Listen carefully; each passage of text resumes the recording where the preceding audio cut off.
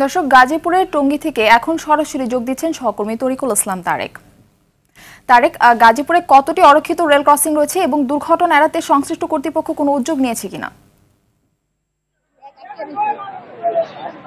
Murphy, আপনি জানেন যে গাজীপুর টঙ্গী অংশটি হচ্ছে ঢাকা থেকে দেশের যে কোনো প্রান্তে ট্রেন যোগাযোগের একটি মূল সংযোগস্থল। এই সংযোগস্থলে কিন্তু অনেকগুলোই রেল ক্রসিং রয়েছে যেগুলো অরক্ষিতভাবে থাকে সবসময়। এখন এই মুহূর্তে আমি রয়েছি টঙ্গী বৌবাজার এলাকাতে। এই বৌবাজার এলাকাতে কিন্তু আমরা দেখতে পাচ্ছি যে এই রেল ক্রসিংটিতে কোনো রকমের গেট নেই এবং কোনো গেটম্যানও নেই।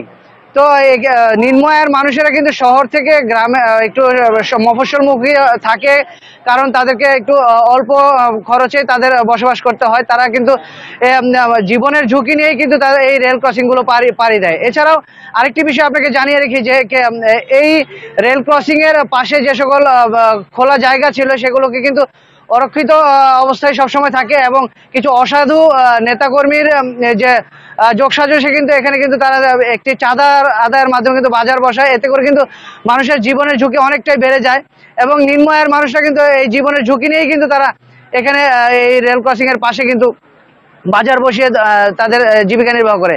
এছাড়াও আরেকটি একটি বিষয় আপনাকে জানিয়ে রাখি যে, এই আয়ের মানুষ যারা রয়েছে, তারা কিন্তু এই রেল ক্রসিংটি দিয়ে কিন্তু বিভিন্ন সময় পারাপারে হওয়ার পারাপার হওয়ার সময় কিন্তু নানা রকমের দুর্ঘটনা ঘটে এবং অনেক মানুষকে আমরা দেখেছি ইতিপূর্বে এই এই রেল ক্রসিং এ কিন্তু প্রাণহানির ঘটনা ঘটেছে।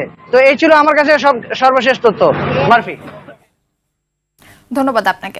গাজীপুরের টঙ্গী থেকে জানাচ্ছিলেন তরিকুল ইসলাম তারেক।